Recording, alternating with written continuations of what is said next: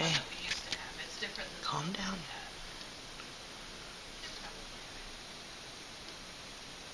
So, but I don't know if it would say high flow on it. Oh, wait, here. Oh, it just says take caution to avoid You're fine. device.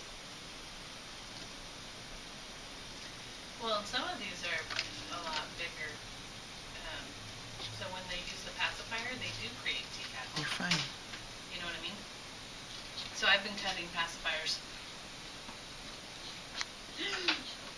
But it's for them. The NICU does it all the time.